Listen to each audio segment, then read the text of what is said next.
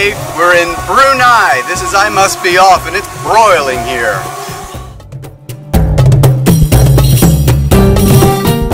For being the capital of one of the richest countries in the world, Bandar Seri Begawan is tiny and lackluster. At its center, however, is one of the most beautiful mosques in the Asian Pacific realm.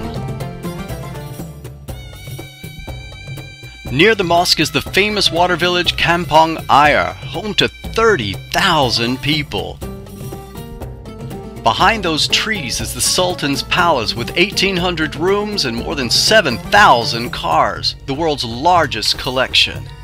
On a hot day like today, a good and refreshing way to see the capital of Brunei is to take a ride in a longboat.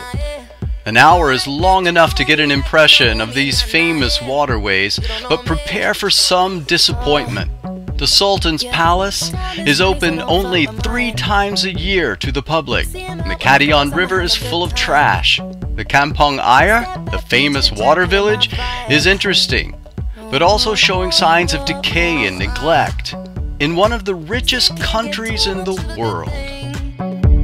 Mm, dressed up in the finest things. Well, please hold your tongue, don't say a damn thing. Your iPhone camera flashing. Please step back, it's my style, you're cramping. You here for long, go no, I'm just passing. The discovery of oil made Brunei rich in 1929 and highly influential in the region.